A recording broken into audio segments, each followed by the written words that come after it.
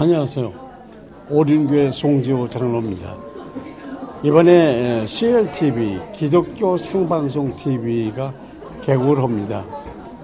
어, 인터넷이나 스마트폰으로 국내나 국외에서 복음을 접할 수 있는 좋은 방송이 됐으면 참 간절히 바라겠습니다. 감사합니다.